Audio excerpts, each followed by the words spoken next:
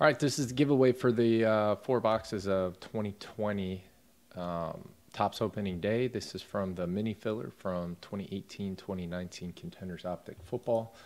This was everybody in it. Gonna hit this three times. This will read nine. Uh, whoever's on top wins.